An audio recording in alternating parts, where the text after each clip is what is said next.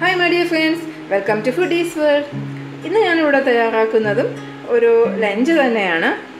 മീനൊന്നുമില്ലാതെ വളരെ ഈസി ആയിട്ട് നമുക്ക് തയ്യാറാക്കാൻ പറ്റുന്ന ഒരു ലഞ്ച് അതിൽ ഞാനിവിടെ തയ്യാറാക്കിയിരിക്കുന്നത് ഇത് സാമ്പാർ. ഇത് ഒരു തോരൻ. ഇത് പപ്പടം കൊണ്ടുള്ള ഒരു തോരൻ. വളരെ ഈസി ആയിട്ട് ചെയ്യാൻ പറ്റുന്നതാണ്. പിന്നെ ഇതൊരു വിഴുക്ക് പയർ വിഴുക്ക്. നീളൻ പയർ അതുകൊണ്ടുള്ള ഒരു വിഴുക്ക്. പിന്നെ ഇതൊരു ഫ്രൈ. ഈ ഫ്രൈ എന്താണെന്ന് ആർക്കെങ്കിലും ഊഹിക്കാമോ? ഇത് കണ്ടാൽ ഫിഷ് ഫ്രൈ പോലെ തോന്നും. എന്നാൽ ഇത് ഫിഷ് ഫ്രൈ അല്ല. ഇത് ചേന യാം ഫ്രൈ ആണ്. ചേന കൊണ്ടുള്ള ഒരു അടിപൊളി ഫ്രൈ ആണ്. അപ്പോൾ ഇത്രയും മതി നമ്മുടെ ഇന്നത്തെ ലഞ്ച്. കുശാൽ. സാമ്പാർ വയ്ക്കുന്നത് എല്ലാവർക്കും അറിയാമായിരിക്കും. ഇതിനു മുമ്പ് ഞാനൊരു വീഡിയോ അപ്ലോഡ് ചെയ്തിട്ടുണ്ട്. അതുകൊണ്ട് ഞാൻ ഇന്നത് സ്കിപ്പ് ചെയ്യണം. പിന്നെ ഈ ഒരു തോരൻ അത് കാണിക്കാം. പിന്നെ ഇതും എല്ലാവർക്കും അറിയാമായിരിക്കും പയർ വെഴുക്ക് ചെയ്യാനായിട്ട്. പിന്നെ ഈ ചേന ഫ്രൈ. അത് ഞാനിന്ന് കാണിക്കാം. അപ്പോൾ ശരി ഇനി നേരെ നമുക്ക് നമുക്കിനി വീഡിയോയിലോട്ട് പോകാം അപ്പോൾ ഇനി നെക്സ്റ്റ് ഐറ്റം എന്ന് പറയുന്നത് ചേന ഫ്രൈ ആണ്. അത് നല്ല ടേസ്റ്റിയാണ്. ഇപ്പം നമുക്ക് ഈ മീനൊന്നും ഇല്ലാത്ത ഈ ഒരു സന്ദർഭത്തിൽ ഈ ചേന ഫ്രൈ. കണ്ടാൽ മീൻ ഫ്രൈ പോലെ തന്നെ ഇരിക്കും. സൂപ്പർ ടേസ്റ്റിയാണ്. അപ്പോൾ അതിന് വേണ്ടിയിട്ട് ഞാൻ ഈ ചേന ഇതേപോലെയുള്ള പീസസ് ആക്കി കട്ട് ചെയ്തെടുത്തിട്ടുണ്ട്. അത്യാവശ്യം തിക്നെസ് വേണം. ഈ വലിപ്പത്തിൽ ഇങ്ങനെ കട്ട് ചെയ്തെടുത്തിട്ടുണ്ട്. ഇനി ഇതിന് വേണ്ടുന്ന മസാല തയ്യാറാക്കാം. ഒരു ടീസ്പൂൺ ഫുള്ള് മുളക് പൊടി ടീസ്പൂൺ മല്ലിപ്പൊടി. അര ടീസ്പൂൺ മഞ്ഞൾപ്പൊടി ഇനി ചേർക്കേണ്ടത് അര ടീസ്പൂൺ ഗരം മസാലപ്പൊടി. ഇതെല്ലാം കൂടി ഓയിലിൽ വേണം മിക്സ് ചെയ്യാനായിട്ട്. നമ്മൾ സാധാരണ വെള്ളത്തിലാണല്ലോ മീൻ ഫ്രൈക്കൊക്കെ അരപ്പ് തയ്യാറാക്കുന്നത്. ഇത് ഒരല്പം ഒന്ന് ഓയിൽ ഒഴിച്ചിട്ട് ഇതിനെ ഒന്ന് മിക്സ് ചെയ്യാം.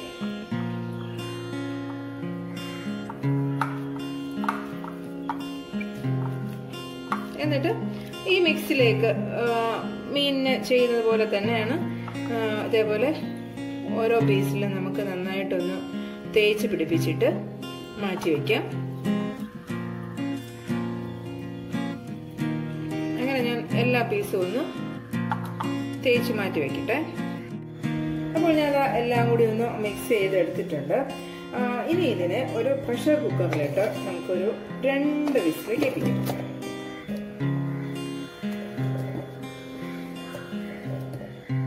ഈ സമയത്ത് ആവശ്യത്തിന് ഉപ്പും കൂടി ഇട്ട് കൊടുക്കാം.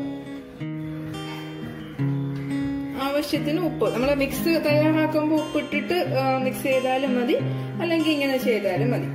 രണ്ട് ടേബിൾ സ്പൂൺ വെള്ളം മതി. ഒരു എത്ര വെള്ളമേ എടുത്തിട്ടുള്ളൂ. ഒരു രണ്ട് ടേബിൾ സ്പൂൺ വെള്ളം.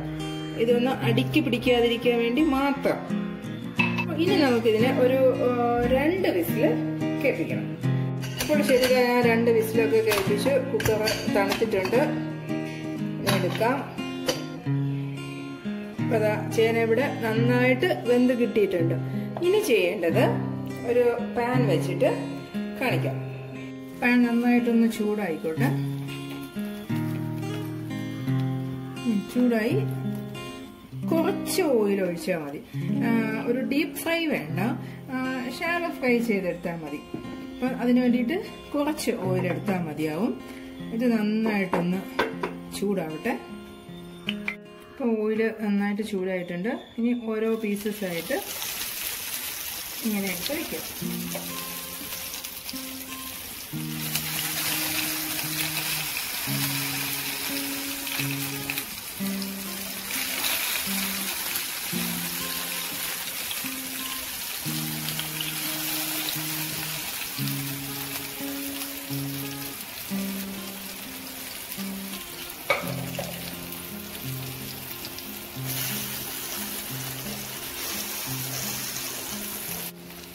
സൈഡ് ഏകദേശം ആയി കഴിഞ്ഞിട്ടുണ്ട് നമുക്കിനി മറിച്ചിടാം. ഇത് കണ്ടാൽ നെമ്മീന്റെ ഫ്രൈ പോലെ ഉണ്ടല്ലേ നല്ല ടേസ്റ്റിയാണ്. നല്ല മണമൊക്കെ വരുന്നുണ്ട്. ഇങ്ങനെ എല്ലാ പീസസും മറച്ചിടാം. അപ്പോൾ ആ സൈഡും വെന്തു. നമുക്ക് ഓരോന്നായിട്ട് പ്ലേറ്റിലേക്ക് എടുക്കാം. പീസസും ഇതുപോലെ ഇതുപോലെ തന്നെ ചെയ്തെടുക്കാം. കുറച്ച് കറിവേപ്പിലയും നമുക്ക് മൂപ്പിച്ചെടുക്കാം. കൊണ്ടുള്ള തോരൻ അതെങ്ങനെയാണെന്നുള്ളത് നമുക്ക് നോക്കാം. അതിന് വേണ്ടിയിട്ട് ഞാൻ കുറച്ച് പപ്പടം ഇവിടെ പൊരിച്ചിട്ട് അതിനെ പൊടിച്ചെടുത്തിട്ടുണ്ട്. അല്ലാന്നുണ്ടെങ്കിൽ ഈ പച്ച പപ്പടം തന്നെ ചെറിയ ചെറിയ പീസസ് ആയിട്ട് കട്ട് ചെയ്തിട്ട് ഒരു ഡയമണ്ട് ഷേപ്പിലോ സ്ക്വയർ ടൈപ്പിലോ എങ്ങനെയെങ്കിലുമൊക്കെ ഒന്ന് കീറി എടുത്തിട്ട് അതിനെ നമുക്ക് എണ്ണയിലിട്ട് ഫ്രൈ ചെയ്തെടുത്ത് അങ്ങനെയും എടുക്കാം. അല്ലെങ്കിൽ ഒരുമിച്ച് ഇതേപോലെ പൊരിച്ചിട്ട് ഇതേപോലെ പൊടിച്ചെടുക്കാം. അപ്പം ഞാനിപ്പോൾ എളുപ്പത്തിന് അങ്ങനെയാണ് ചെയ്തേക്കുന്നത്. പിന്നെ ഒരു അര കപ്പ് തേങ്ങ. പിന്നെ വേണ്ടുന്നത് അര ടീസ്പൂൺ മുളക് പൊടി അര ടീസ്പൂൺ മഞ്ഞൾപ്പൊടി ജീരകം ഒരു നാല് കഷ്ണം ഉള്ളി ചെറിയ ഉള്ളി.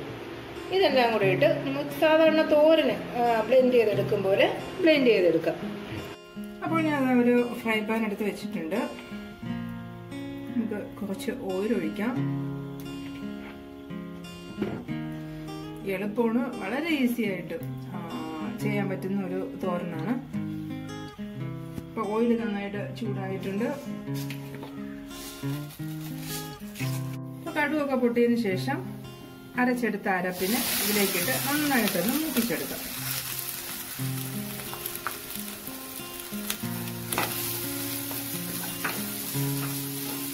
ഈ സമയത്ത് അല്പം ഉപ്പും കൂടെ ഇട്ട് കൊടുക്കാം.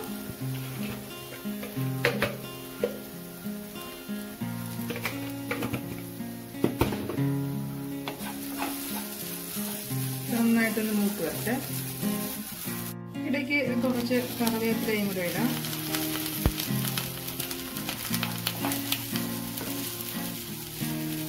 നന്നായിട്ടൊന്ന് മൂത്ത് വരണം. അപ്പോൾ അരപ്പ് ഇവിടെ നന്നായിട്ടൊന്ന് മൂത്തിട്ടുണ്ട്. പിന്നെ നമുക്ക് എടുത്തു വെച്ചേക്കുന്ന പപ്പടം നന്നായിട്ടൊന്ന് മിക്സ് ചെയ്ത് എടുത്താൽ മതി. അപ്പോഴേക്കും പപ്പടത്തോരൻ റെഡി. ഈസിയല്ലേ വളരെ ഈസിയല്ലേ വളരെ പെട്ടെന്ന് നമുക്കൊരു തയ്യാറാക്കാൻ പറ്റുന്ന ഒരു തോരനാണ്.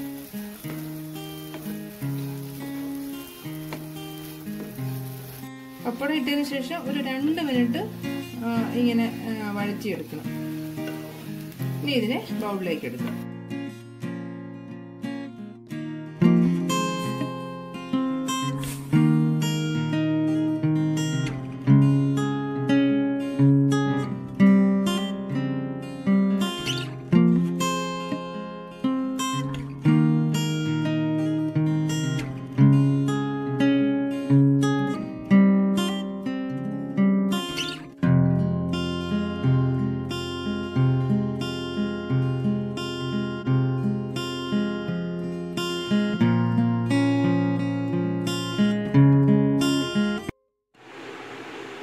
അങ്ങനെ വിഭവസമുദ്ധമായിട്ടുള്ള നമ്മുടെ ലഞ്ച് ഇവിടെ തയ്യാറായി കഴിഞ്ഞു.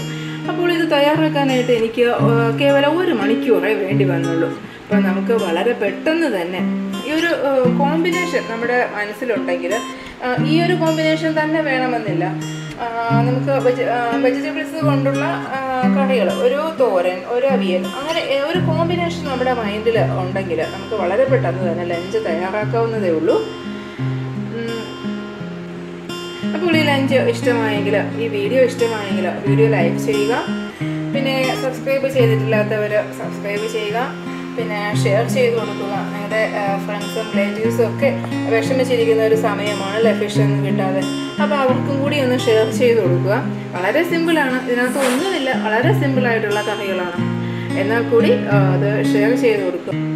അപ്പോൾ ഇനിയൊരു ലഞ്ച് പ്ലാനുമായി കാണുമ്പോഴേക്കും. ബൈ